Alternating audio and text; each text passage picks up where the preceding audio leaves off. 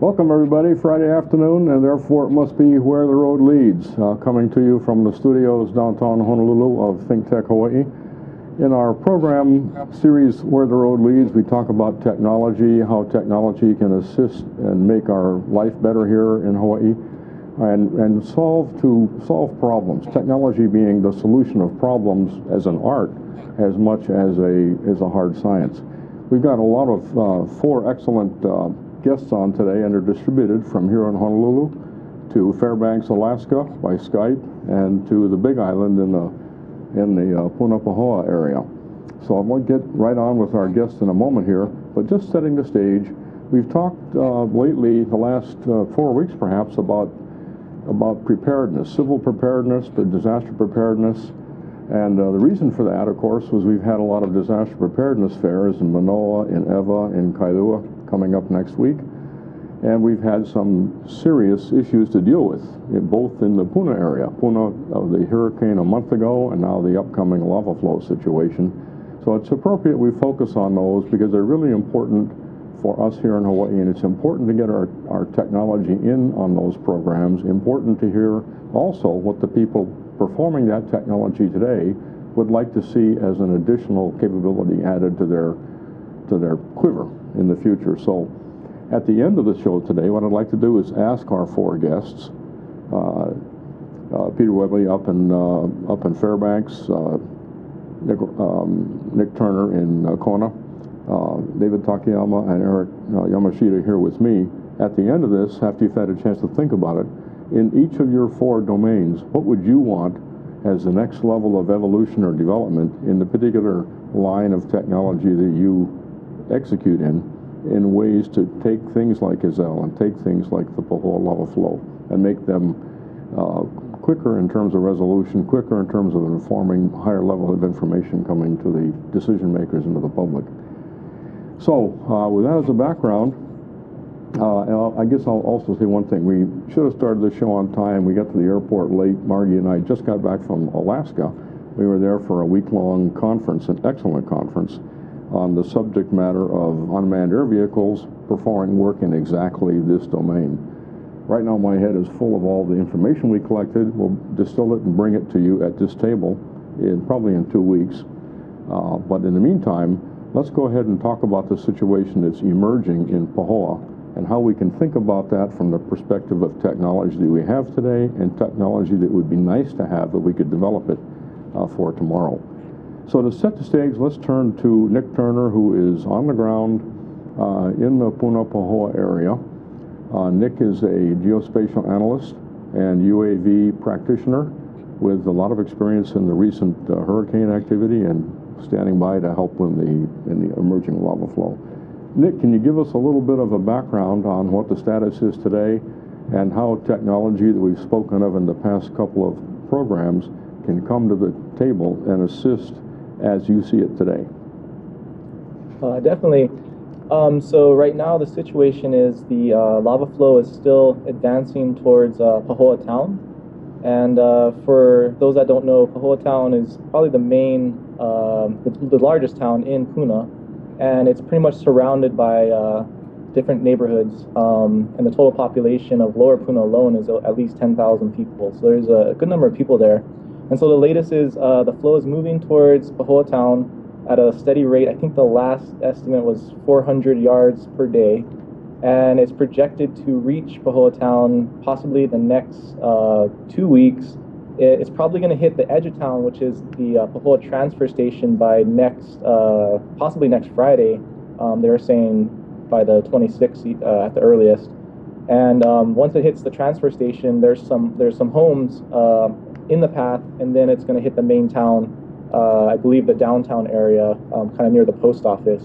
And this is where a lot of businesses and restaurants are, are established. And so we're just kind of waiting um, for it to, to reach the town, and then they're going to be closing off the, um, the main highway, which uh, is the artery for uh, all of uh, Puna to get through the, this town. So that's uh, uh, kind of an impending, slow-rolling disaster, if you will, that's coming at us. What are you using, Nick, in the terms of uh, geospatial tools or inspection systems, uh, analysis systems, modeling a sim, these various factors to get better predictions of where the lava is going to go. So you can better inform the local uh, incident commanders and such of what to anticipate. Okay, um, well, I'm not doing any predictions myself. Um, that would be the uh, HVO uh, scientists. So um, they are using uh, a variety of tools. Um, one of their main tools is actually uh, they're using LiDAR data. And for those that don't know, uh, LiDAR is a uh, laser scan of the terrain, and they can create a digital elevation model with this data. And from that, they can try to predict exactly where the flow might might end up. And just like water, the lava is going to follow the steepest uh, path and it's going to go downhill. And so they're using LiDAR, um, using satellite imagery, using aerial uh, helicopter flights. So they'll take GPS points while they're on the helicopter and try to get a flow front, and then they'll digitize it later.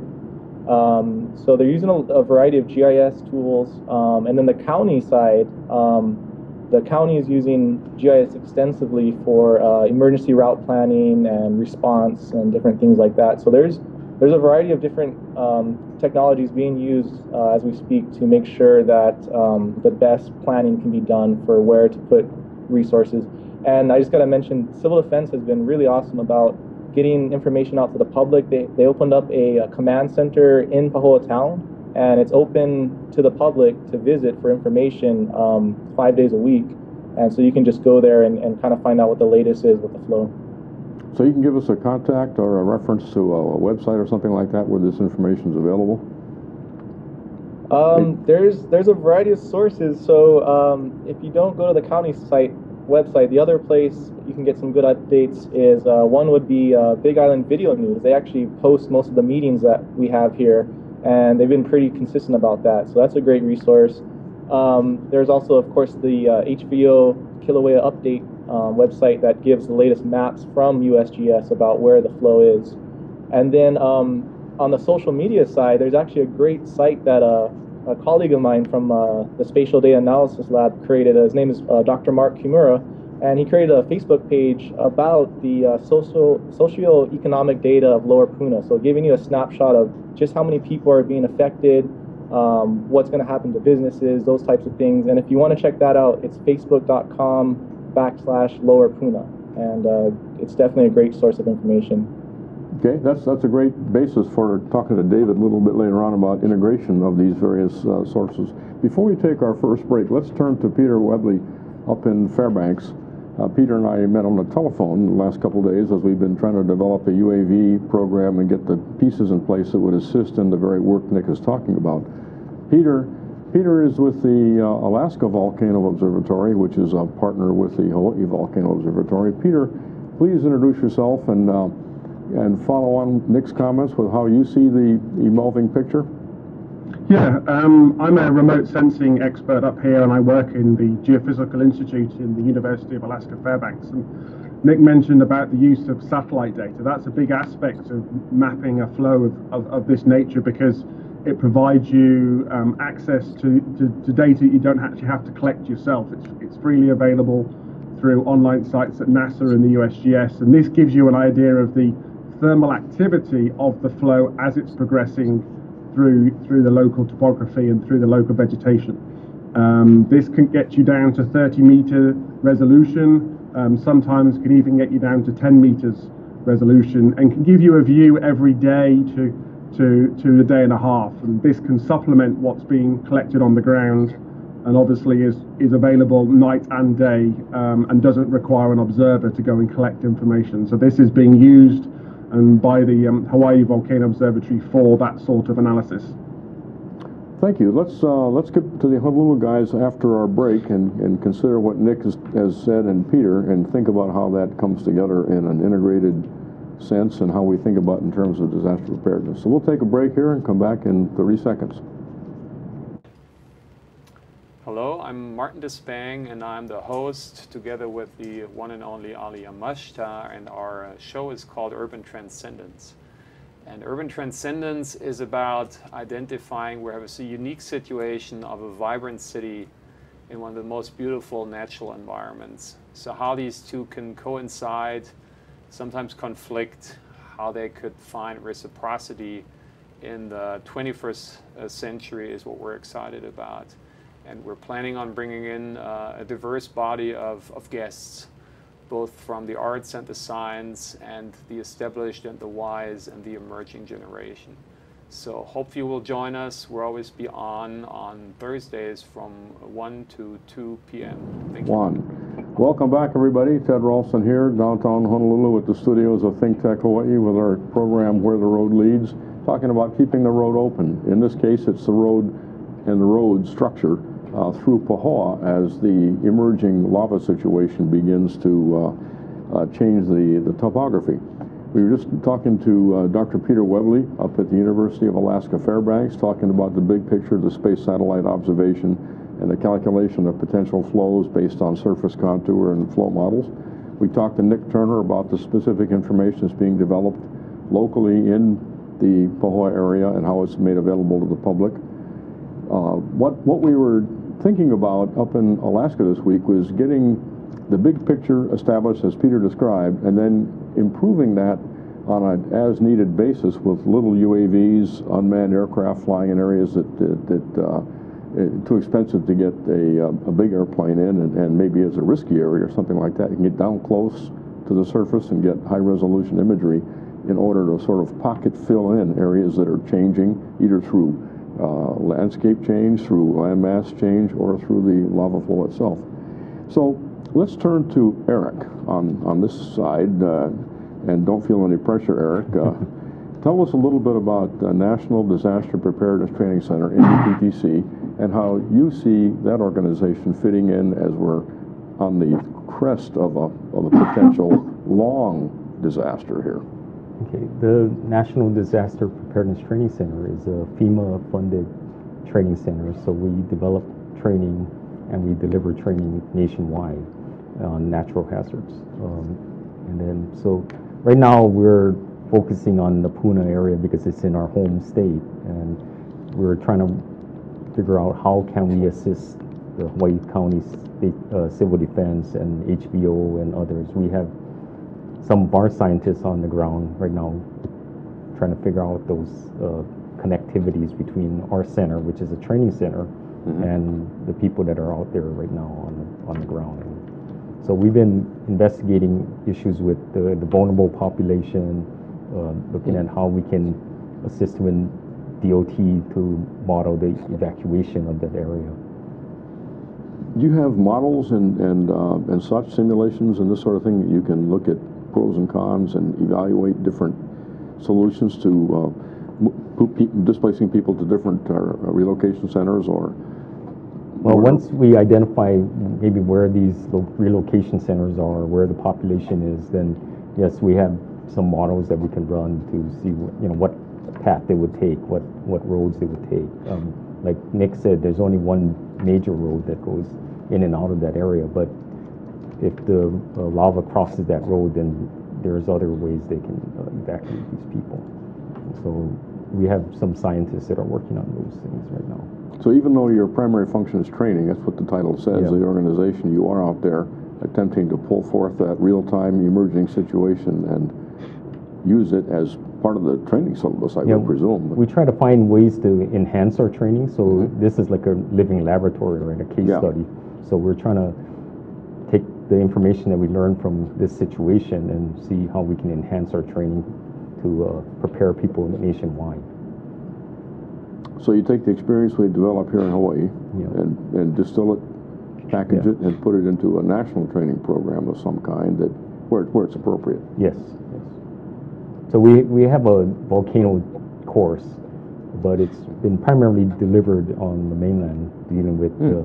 the, the, the, situation they have in um, with lahars and more um, explosive volcanoes. But this is um, I think, a first for us to look at mm. this type of lava versus uh, versus these explosive type. Uh, well, you know, we have um, we have the uh, AVO, the uh, Alaska Volcano yeah. Observatory, and HVO working together uh, through Peter and and Nick and people like that who can tie these things together. Is there a corresponding NDPTC agency in Alaska? where this, what you're developing here, could be made available to them? Our science director, who uh, is a volcanologist, uh, uh, Dr. Halton, he, he actually worked with all the observatories to develop this course. So he's been in touch with Alaska's Volcano Observatory and as well as HVO as well as the other other ones.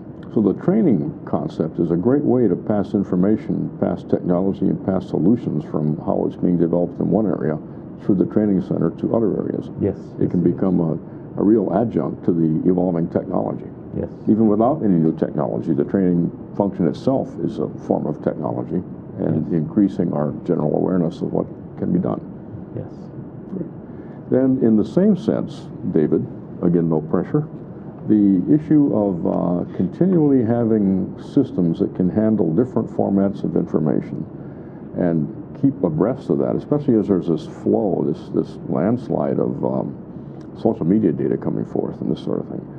Uh, how do you see organizations such as Oceanit just tapping all that in line? How do you tap all that information and decide how best to stand up and go forward and rec- recommend what to do, recognizing you have to get paid to do the work. So there has to be a grant, there has to be some other form of keeping you employed as opposed to the training center, which has a training budget and it can operate in that different, slightly different channel. So how do you see that as a commercial company, but also as a high-tech leading edge?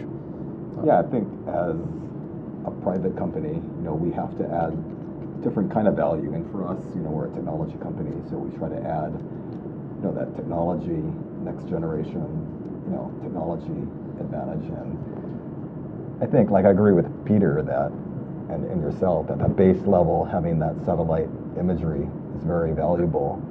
But adding to that, to have the UAV data would supplement that. And you know, I think the next generation, we developed that iPhone app that we showed last week uh, called Mercy, and that develops um, you know da- damage assessments. But basically, you have to go in the field, and each individual has to create their own damage assessment report. And I think the next generation of Mercy would be using technology like UAVs to be able to get greater resolution in areas where a lot of times it's not accessible.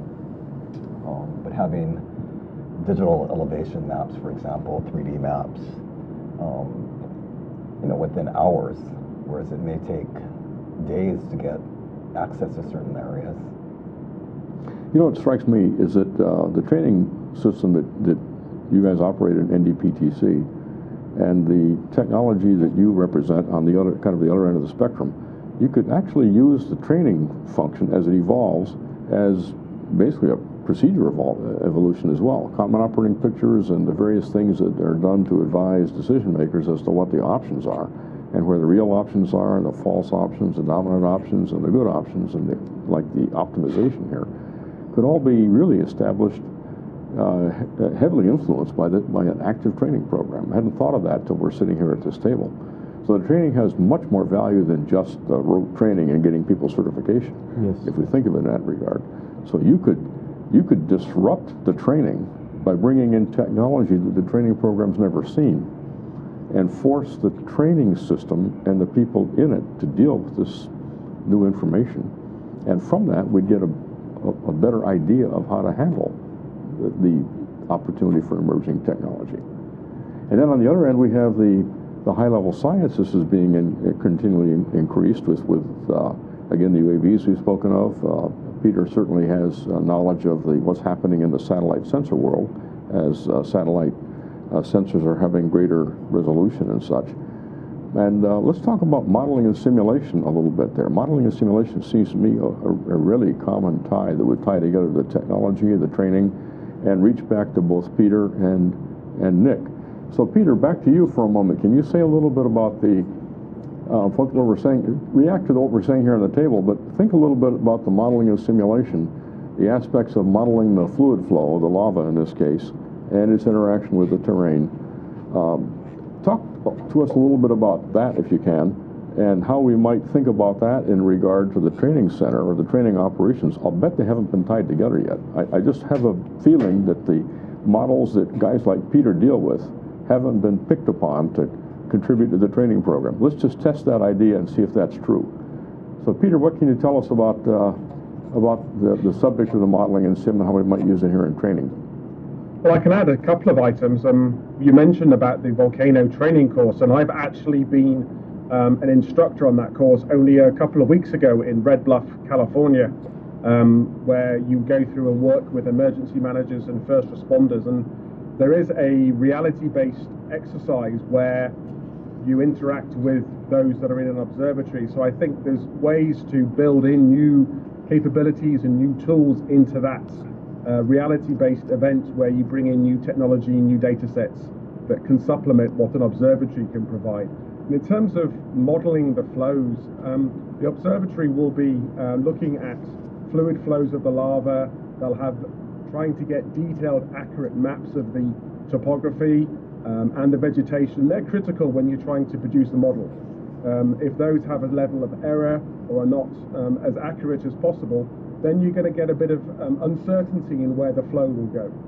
Um, and you want to reduce that uncertainty to help in decision support. So highly accurate, high technology data really helps in decision planning for what's going to happen in a week to two weeks as the flow passes down the, uh, the uh, side of the, uh, the landscape.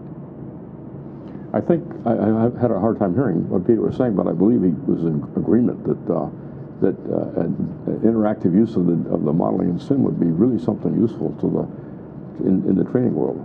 Yeah, I mean, for us, uh, we're always looking for new opportunities to in Mhm. integrate the real time and uh, actual software or models that are being used by the, the real, you know, the, the public or the, or the scientists out there because uh, the most most times the emergency responder or the first responder they, they want to know what is actually happening, not you know just a lecture. They want to go through actual exercises and things like that. So um, we're always open to uh, integrating some simulation or modeling Hmm. into the course. And as far as the work that Nick is doing and his peers on the ground, which is going to be at a scale below what Peter's talking about, I believe, picking up uh, local infill data, high resolution data where appropriate, uh, you could think of an almost make make this into an exercise where we look at the big scale, the big picture, look at the emerging smaller pictures, and have guys like David think of how that can come together into a uh, a descriptive GIS-based situation that would be of extremely highly value to the incident commanders and the people who, uh, civil defense and the government are making decisions. Yes, I agree. So what we need to do is all three of us, all four or five of us, write our grant when we're done with this program today, and have it centered on NDPTC. In fact, you may have noticed on this program, people who are regular uh, participants here, we have a lot of NDPTC people at this table for a good reason. We're trying to load you up and uh, and and have this become more more a, more broader function, a more involved, a deeper function than than than. Uh, uh, and, and continually doing that. There's no better organization, Eric, uh, to have that responsibility because there's no end to the utility of the new, new technology entering the picture, and there's not going to be an end to the satellite work or to the uh, UAV work in terms of higher quality information, high resolution, resolution information coming in. So we're trying to stand you up in, in that way. And I will say that uh, one of the things we did in Alaska was uh, try to do exactly that, and Peter's part of that, and so was Nick. We are going through the paperwork on attempting to get uh, a several different uh, of the COAs, the certificates of authorization to let the UAVs operate in this area. It's complicated because of the legality situations and the tour operators and the other fixed wing and helicopters are going to be in there, but that actually that can become the framework of this training concept we're speaking of that would uh, uh, be useful, I think, to you and a, and a great value to others, especially as you push this out to other parts of the country. Yeah. So, David, Yeah, I have to say that NDPTC actually does have a tools course on damage assessment that evaluates different technology and tools that are out there, including Mercy, but it's almost like a bake-off of all the different types of assessment tools and technology that's available. And you know, not one tool may fit all, you know, any situation. So the participants have the ability to try and play with all different types of tools. Some are um, free, um, open source tools, other paid tools, but they, you know, they do have a class. Yeah. when it was first developed, there was there was no real active use of UAVs or UAS, so that could be easily integrated later as we as that becomes a more matured uh, technology. I think. That's a that's a, a really good point. The integration can also be highlighted or emphasized or, or trained or learned through the training process. We experienced that what, two three weeks ago up at Makakilo with the fire, taking a small UAV up there. And if there isn't a a means by which that new technology can be introduced into the information flow, it's very difficult to be used because somebody has to look at the screen, somebody has to make a decision based on it, somebody else probably has to validate whether it's leading us in the wrong direction or not. So there's issues that have to be put in place in order to allow new technology to come into the game. And once again, don't feel the pressure too heavy, but uh, loading up NDPTC with those kind of roles is, in my mind, superb. And that's what we're all about here at this show, is to uh, bring people together and, and look at how these things can flow with each other. Nick, um, you, we began with your comment from the field perspective. How, how do you see new technologies, new systems, new capabilities entering the mix with, say, the, uh, the, the uh, island of Hawaii uh, County Civil Defense? How would a new piece of technology, pick UAVs as an example, uh, be made useful and available to the incident commanders in a way that wouldn't further degrade the situation. We won't want this new technology to be part of the problem. We want it to be part of the solution. So from that very much boots on the ground level, how do you see that playing out, Nick? I think, um, just like you said, making sure that the technology um, brings more benefits than it does problems is, is probably the you know, most important thing. Um, but as far as benefits go with uh, UAV specifically, um, I think the biggest benefit is uh, being able to do multiple reoccurring flights, uh, day or night. And I say night because um, one of the limitations of manned aircraft is it's very unsafe to fly, uh, to do low elevation, uh, low altitude flights at night. And so this is where you can reduce that risk to human life by bringing in UAVs, uh, especially at nighttime. And you know, right now uh, they're monitoring the flow each day. They usually do a morning assessment flight, that type of thing. But once the flow starts to enter um, homes and subdivisions and, and, and the whole town, uh, I think everyone's going to go into this 24/7 emergency uh, mode where you're going to need real-time information uh, around the clock, basically. And this is where UAVs could help fill that gap. And the other thing is, because your UAV field uh, team is in the field, you can uh, get that information out there quickly to the uh, incident commander because you can start mosaicing imagery right there with a laptop.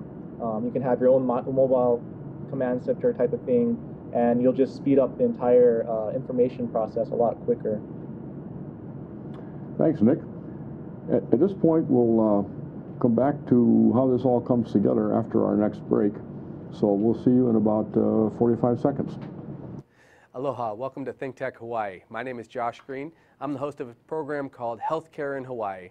I'm a physician. I work in the emergency department on the Big Island. I also serve in the state senate, which please don't hold that against me, doesn't detract from my television program. We speak about all the big healthcare issues in the state. We get together on Tuesdays from 2 o'clock till 3 o'clock in the afternoon, and we try to talk about the most important issues in healthcare. This is a terrific venue for people to learn about healthcare. There are many programs on this on this station. We broadcast it later, uh, not just on the internet, but also on OC16. Thanks for joining us. Please be informed healthcare consumers. Ted Ralston here, folks, Friday afternoon at the downtown Honolulu studios of Think Tech Hawaii with our program Where the Road Leads. And keeping the road open is our current focus, thinking about the situation in Pahoa on the tails of what happened down in Puna, and thinking about how technology can be used to assist in understanding and dealing with and predicting and informing uh, those uh, emerging situations. We have David Takeyama, we have Eric Yama, uh, Yamashita. Actually, we have a, a Yamashita Yeah, and a Yamashita. Yamashita in your same organization, but they're spelled the same. I get not sure which one I'm talking to from time to time. And then um, we have uh, uh, Peter Webley, Dr. Peter Webley up at Fairbanks, and we have uh, Nick Ryan on the ground. I mean Nick Turner, sorry, on the ground in uh, in uh, Puna. We we may get uh, a Ryan on the line next time. Ryan Perroy, he's not on the line today. We hope to get him on at some point in time to talk about this. So, uh, what we're talking about is multiple technologies emerging and maturing in their own domain, coming together in a, a higher level purpose at the informing center of these consequences, these emerging, uh, emerging natural and perhaps man-made issues. Um, at the top of the show, I suggested that each one of us in this room, on this extended room, probably has an idea of what would be the greatest thing that could happen in your particular domain to make this area all, uh, the whole situation move faster in terms of the general informing. And uh, so I'd like to have you all say what that might be in our last uh, uh period of time here. I will start with my own. I've, I've often felt that uh, we we become sort of a uh, trapped in our own language. That is, the language has limits in terms of how it can express things. And if we could somehow find a way to take these complex, emerging adaptive systems and express their potential consequence in some graphical format, in some non-textual format that has layers that are easy to slice and you could quickly determine uh, by some graphical way where the logical path may be. Is it cheapest solution? Is it uh, uh, in, in involving the fewest displacement of peoples type solution? All kinds of solutions that have different optima. And uh, some way that, that, that systems would be able to do that and yet retain accuracy and not introduce some kind of uh, false indications and properly indicate when the latency is up and the data is no longer any good that kind of thinking beyond our linear thinking into some kind of a state change in how we portray. And if we could start from how we portray things down to uh, how we then calculate and compute, it would, it would be interesting. I'm not smart enough to do that, and I'm way too old to do it, I'm sure. But you guys, I notice, are a lot younger. And, and uh, so maybe that's, uh, that's what I would like to see, is some way to cognate this complex information in a way that is ironclad sound. So I'll, I'll start the bidding with my idea of what would be useful. We started with Ryan as we went through our discussions today. So Ryan, let's turn to you and ask you the same question. What would, from your perspective, uh, after after having been through six weeks of this now and another six months coming, what would you want as your number one next development in technology to make how you see the world in this domain getting better.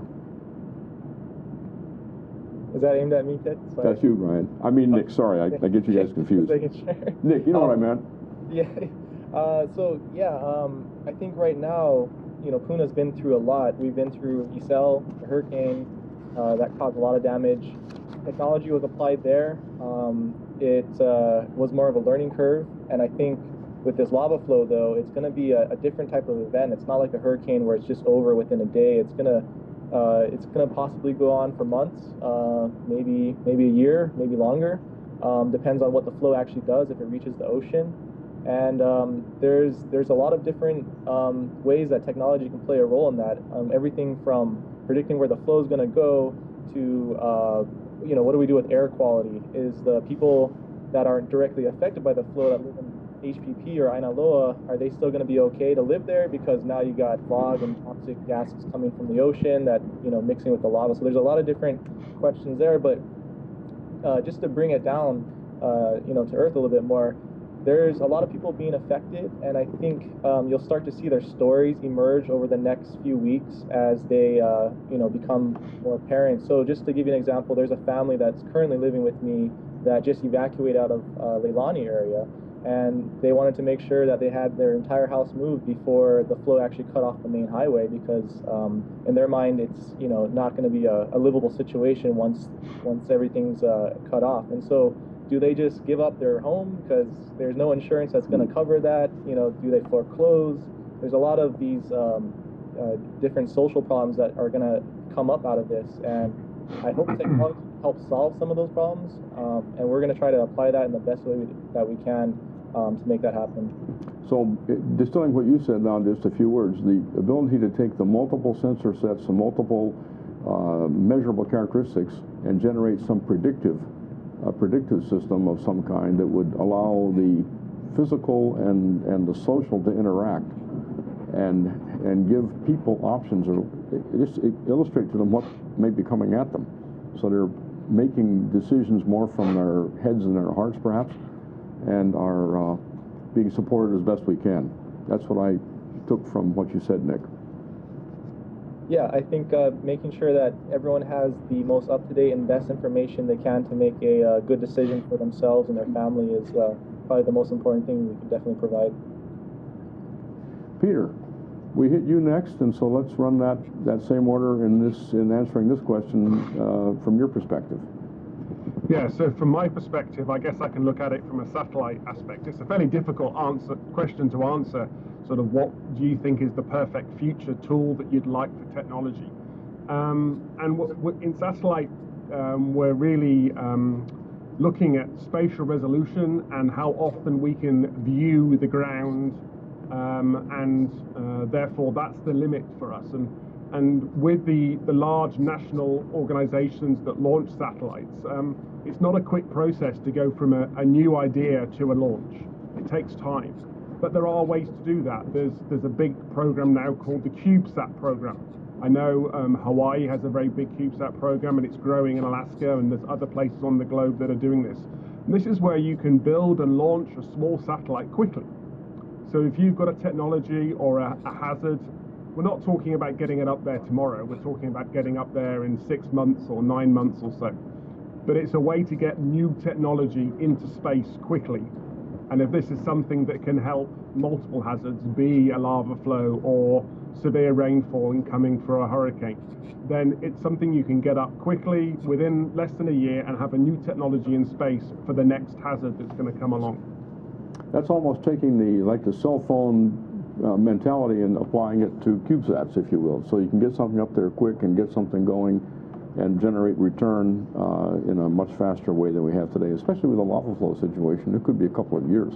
So we could even have a couple of cycles of uh, technology evolution in that in that one period. Thank you for that, Peter. And now, uh, Eric, I think you're next. So I had this conversation today with a long-range planner from the county of Hawaii, and they're already, you know, they know the immediate is going to hit Pahoa, they, but they're looking at the long range over time because they're saying that the lava is probably going to continue, like you said, go all the way to the ocean, and as Nick said.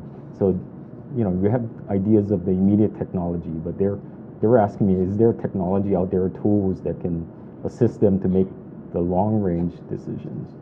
Um, and right now, you know, everybody's focusing on the immediate like, evacuation, how to how to deal with the um, the lava flow, the you know the the actual imaging of the lava flow right now. But uh, for the long-range planners there at the county, they're kind of thinking, oh, what do they do? Do they have to rezone the whole area? Do they just evacuate everybody and nobody's going to be living in that area in the future? You know, what what what decisions do they have to make?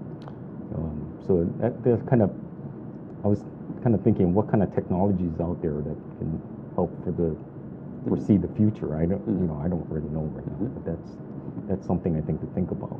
That's, that's interesting. That kind of goes back to what Nick had said about uh, methods to look at the consequences of this topographical change and the geo uh, chemical change associated with all the emissions and such coming up and uh, change in the botany going on. All of that has to somehow combine into a quality of life vector of some kind, and that's what you're searching for. Interesting. There's another guy thinking about that who's been at this table before, uh, Greg Nakano is thinking about that as, as far as sea level rise is concerned. So I think we need to get you and Greg back at the table again because you are obligated to go twice in a row when you come to this table. Okay. And at some point in time, you may be obligated to run the thing, so just be aware of that, that threat. So thank you. That, that's great. So long range planning, and that's exactly what NDPTC would be thinking about. And uh, excellent. Sir, yeah. last man up well, I wanted to be more original, but I think I agree with a lot of you, you know, that we need better decision support systems.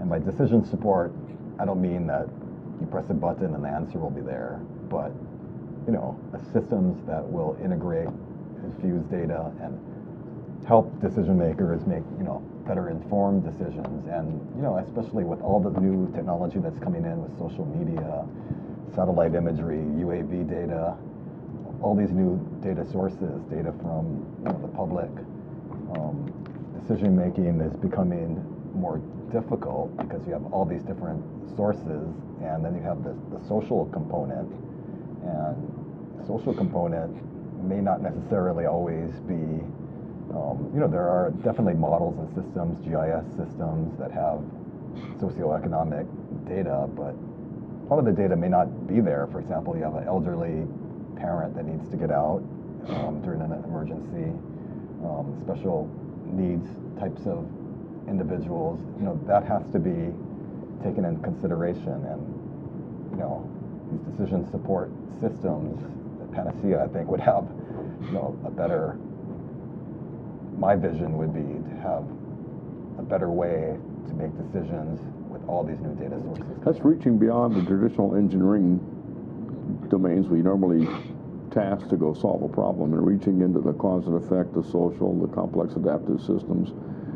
Perfect opportunity for NDPTC to hold a workshop on that very subject, especially since you got asked the question today, and that's got to be the end state of the NDPTC thinking. What's the long-term planning? The counties must be thinking the same way. So Yeah, this sure. is a great workshop. We can we can have it right here in Jay Fidell Studio. We are having it right now, and uh, I, I appreciate you thinking that way because it's unusual to find the technical people thinking that way. They generally think what they think about. They don't think beyond that a lot. Well, my background's a planner, so. Oh, okay, well, that, okay, it shows. okay. Well, I thank you very much, uh, distinguished panel. We have uh, the farthest away person here is uh, Dr. Peter Webley up in Alaska, Fairbanks. Great insight from the satellite and big picture perspective. Nick Turner, who's going to yet again face another serious uh, circumstance that's going to hang on for a long time.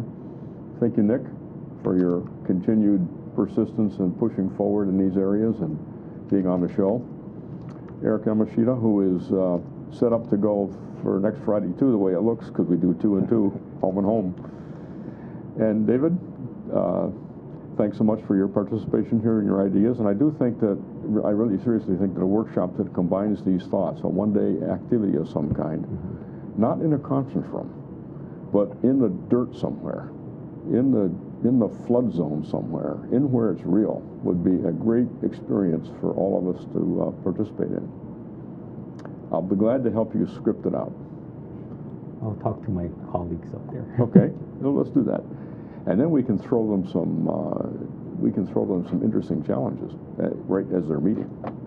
Now, next Friday, the 26th, uh, Clement Jung from uh, Kailua will be on the show here, and um, I think he's bringing some other people on too to talk about the Kailua Emergency uh, Preparedness uh, Fair, which will be held on the 27th in the middle of Kailua Town in the uh, in the parking lot there.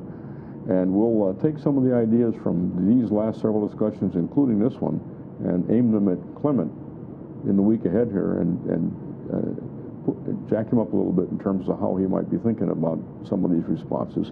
I think it'd be great to have these preparedness shows actually embrace these kind of ideas. You know, what we do is we display a lot of stuff, a lot of gear, but we don't display how it all comes together and how it helps making decisions. So we're at the beginning of that, and uh, N- NDPTC, thank God we have you here in Honolulu. Uh, can you imagine if we didn't have you here? You guys are like a center of all this. And uh, it's, it's just great to have that hub at the center of the wheel, and all the spokes can report in and, and uh, make that wheel turn well all together. Okay, thank you very much, folks, and we'll see you next Friday.